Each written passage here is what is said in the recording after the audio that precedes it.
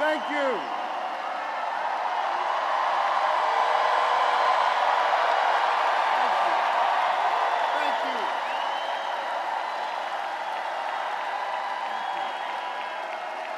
Thank you. I love you, Philly.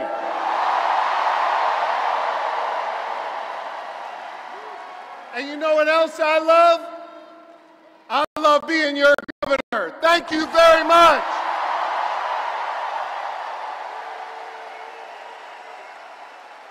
You all, y'all fill my heart. And I love you so much.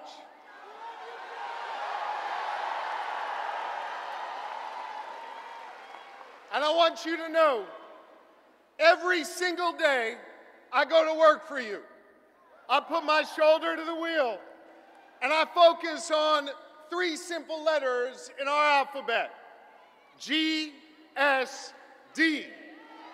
I focus on getting shit done for all of you.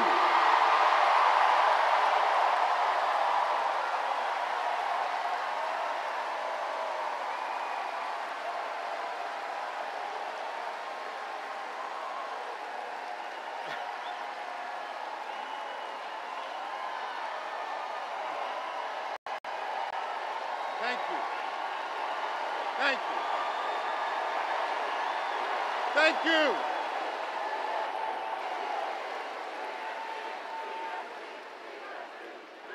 And I want you to know I am going to continue to pour my heart and soul into serving you every single day as your governor. And and I'm going to be working my tail off to make sure we make Kamala Harris and Tim Walz the next leaders of the United States of America. That's right. Let me tell you, let me tell you about my friend Kamala Harris, someone I've been friends with for two decades. She is courtroom tough. She has a big heart. And she is battle tested and ready to go.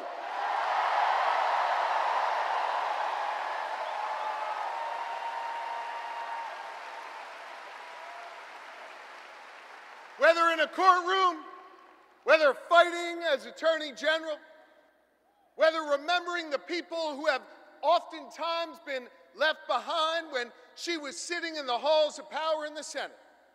Kamala Harris has always understood that you got to be every day for the people, for the people. And she has served with honesty. She has served with dignity. And every step of the way, she's broken barriers to serve all of us. Now, now, Philly, hear me on this. That's a hell of a stark contrast from the guy running on the other side. Oh, y'all, y'all know who I'm talking about, I guess. You see, we remember here in Philly what it was like when Donald Trump was our president. We remember when he was president, it was more chaos, fewer jobs, and less freedom. You see, Philly, I know y'all, we walk around with a little bit of a chip on our shoulder because we remember, right? And we remember that it was Donald Trump that ripped away the freedom of millions of American women to make decisions over their own bodies. We remember that.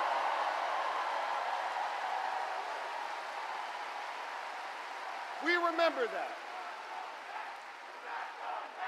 We're not going back. We are not going back. You're right. Not going back. And here's the thing we don't want to go back, but, but let's go back for a second, just remember. let's just remember, because I think there's some folks out there that still have a little bit of brain fog, remembering, having a hard time remembering what it was like. Now, listen, he brought all that chaos and limited our freedoms back when he was president, and let's be honest, didn't know what the hell he was doing. He didn't. But this is serious, gang. He knows what he's doing now. He does. And the Supreme Court that he packed, the Supreme Court that he has packed, has ruled that he is above. He is outside. And now he's got a clear plan. They all wrote it down in that whole Project 2025 thing. And they got a clear plan to take away more of our freedoms. They got a clear plan to use the Justice Department to go against our enemies. They got a clear plan to isolate us in the world. And let me tell you something I ain't going back. I am not going back. I'm not. And neither do you want to go back. We are not going back.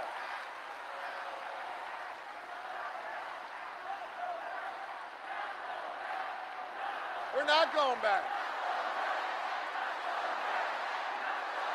No. We're not. And not only are we not going back, we're not going into the future with Donald Trump, not going in the future with him. A guy who has made clear, he's told us what he wants to do more chaos, less freedom. And yo, friends, it was Maya Angelou who said it when they tell you who they are. Yeah, I believe them, and I don't want to see that. And Donald Trump, well, he's now got a partner with him. Y'all see that guy? Yeah. J.D. Vance, he's not, he's not exactly off to a good start. I think we can all agree on that. But I think part of the reason why he's not off to a good start is this, and it's serious. He doesn't know who he is. And he's not being honest with himself, so he can't be honest with the American people. He can't.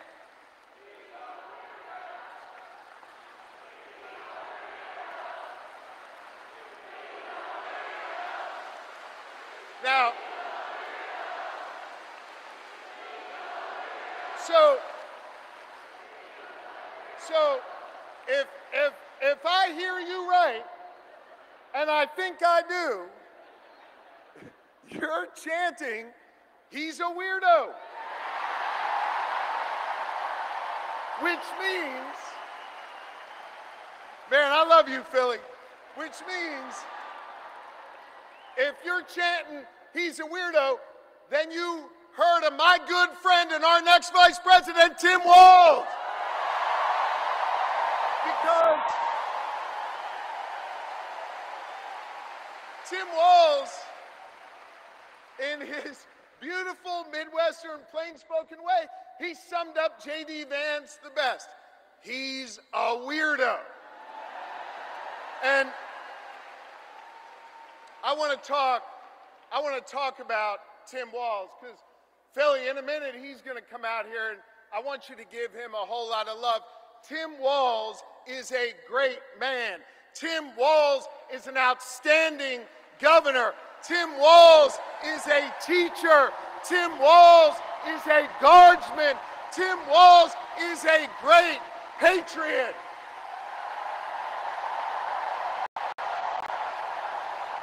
He is. And I'll tell you what else. I'll tell you what else.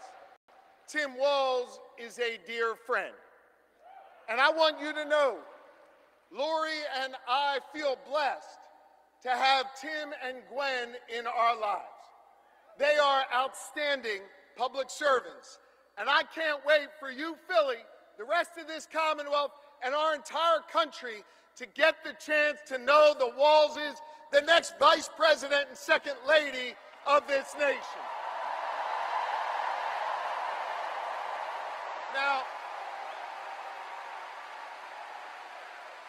I think, I think it is fitting and it is special that Kamala Harris and Tim Walz have chosen to launch their campaign right here in Philadelphia, in the city of brotherly love and sisterly affection. And, and importantly, they chose to launch their campaign right here in the birthplace of real freedom. You know, the other side, Trump and his sycophants, let me tell you something. They love to talk a good game about freedom, right? They, they love to cloak themselves in the blanket of freedom all the time. They love to talk a good game. But hear me on this. It's not freedom to tell our children what books they're allowed to read. That's not freedom. It's not. It's not. It's not freedom to say you can go to work, but you can't join a union. That's not freedom.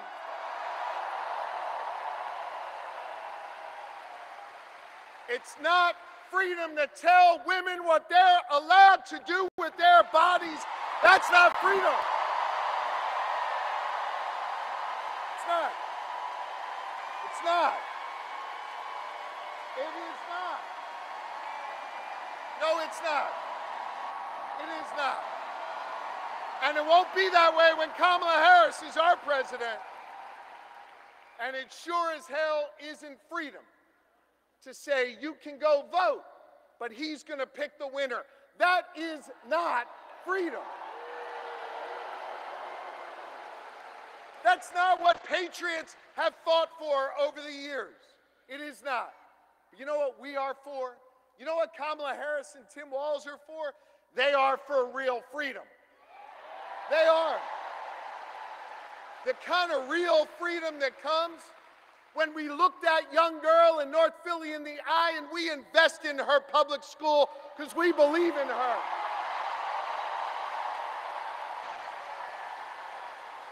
We believe in real freedom, the kind of freedom that comes when we invest in our police and we invest in our communities because we believe that young girl should walk to and from school safely and back to her mama at the end of the night. We believe in real freedom where the young girl can grow up and be whatever she wants. She can be a welder. She can go to college. She can be who she is. That is real freedom, and that is what we are fighting for. We believe in the kind of real freedom where she grows up in a community breathe clean air and drink clean water and know that she will leave an environment to the next generation that is great for her kids and her grandkids. And believe in a real freedom where you can marry who you love and be who you are.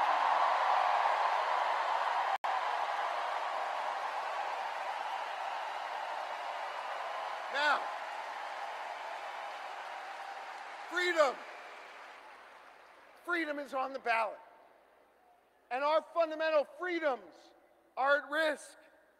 And I know, I know when it's at risk, it's easy to feel uneasy and it's easy to get down. But let me tell you something, Philly. Let me tell you something, Pennsylvania. Let me tell you something, America. I am more optimistic than ever before.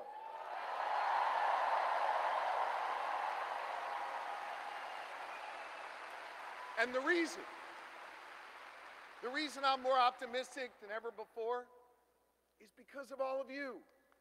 And because of what a band of patriots started here in our taverns, in our town squares, and at Independence Hall, just a couple miles from here, nearly two and a half centuries ago. You see, they came together. They came together to declare our independence from a king, and we're not going back to a king.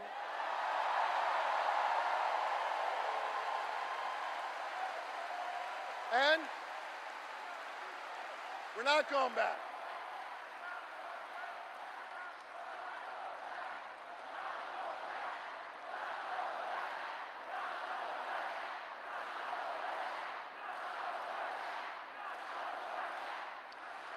And when they declared that independence from a king, they came together and they said, We are going to form a union.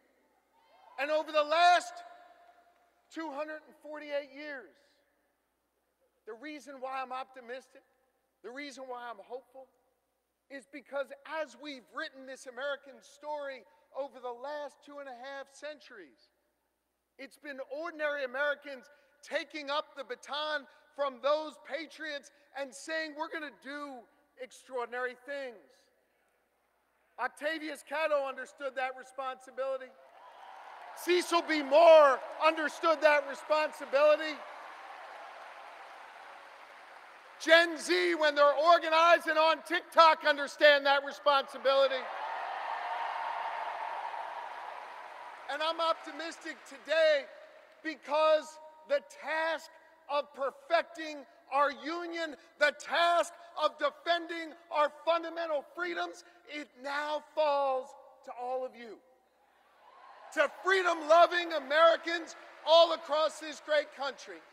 And to the good people of the Commonwealth of Pennsylvania who will decide this next election and understand our unique responsibility.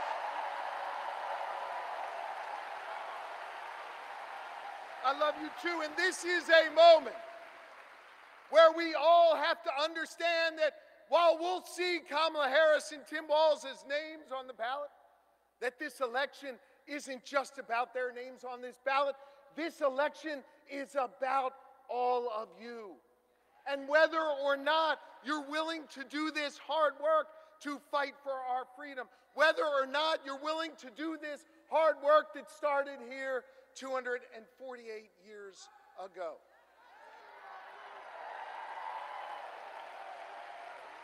I want to just say this. I lean on my family and I lean on my faith, which calls me to serve. And I am proud of my faith.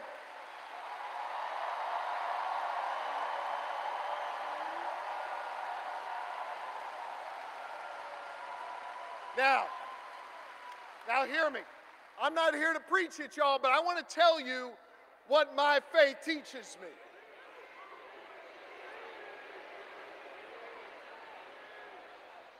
My faith teaches me that no one, no one is required to complete the task, but neither are we free to refrain from it.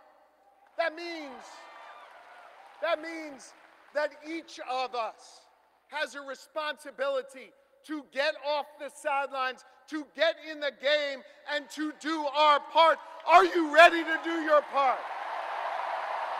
Are you ready to form a more perfect union? Are you ready to build an America where no matter what you look like, where you come from, who you love or who you pray to, that this will be a place for you? And are you ready to look the next President of the United States in the eye and say, Hello, Madam President? I am too, so let's get to work.